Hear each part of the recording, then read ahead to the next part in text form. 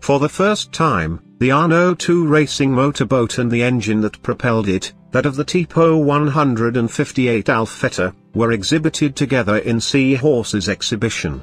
In the year of Alfa Romeo's 110th anniversary, the Arese Museum pays homage to this fascinating and not yet fully explored chapter with an exhibition entitled Seahorses.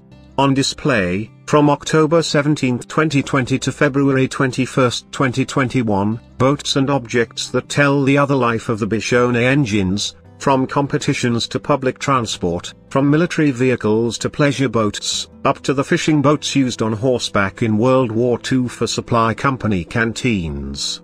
Alfa Romeo has won on water almost as much as on the track and on the road. Brand historically linked to the world of racing, Alfa Romeo also has a rich palmarès in motorboating. Alone, 9 of the 10 boats on display, the 10th is a pleasure model, have collected in the various categories something like 11 world records, 6 world championships, 7 European and 9 Italian, as well as 5 gold medals of the CONI. The exhibition traces all the types of engines that have dominated powerboating, from the legendary Alfettas to the various declinations of the twin shaft, up to the Montreal and the Tipo 33.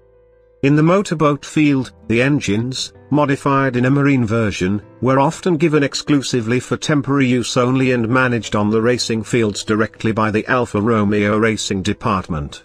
This is the case, for example, of the Alfetta engines.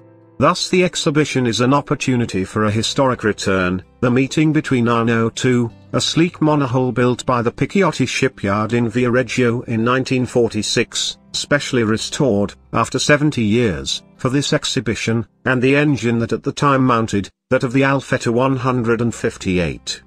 Also on display are other models with impressive palmarès, the Lo Stick 2, an inboard racer of the LV 1300 class built by the Celli shipyard in Venice and powered by the 1300 engine of the Giulietta AR 530. In 1964 he set three cross-country world records in the 5, 10 and 15 miles of his class. Then there is the Molinari Alfa Romeo 2500, the only existing example, which in 1966 won the world title. Built for the Motornaut of the Agusta Fortunato Libanori team, it has an aeronautical aluminium alloy body made by the Agusta Helicopter Department.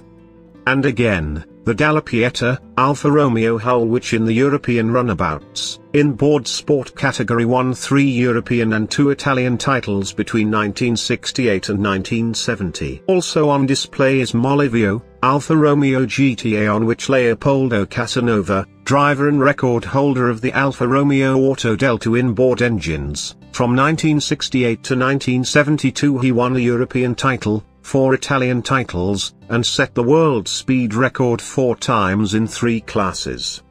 The 1970 Celli is the first of the four 2,500 racers powered by the Marine Montreal Autodelta and was piloted by Antonio Pietrabelli, famous driver winner for over 10 years of Italian, European and World Circuit racing titles. The racing motorboat series is completed by a racer built by the Lucini shipyard in Como for Franco Candando, the Lucini Alfa Romeo 2000 winner of the R3 world record in 1974 and, the following year, world champion.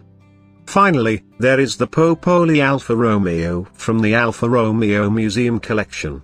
With this Type 33 hull and engine brought to 2.5 litres by Autodelta, Leopoldo Casanova set the world speed record in the KC 500 kg class, still unbeaten, at an hourly average of 225,145 km h.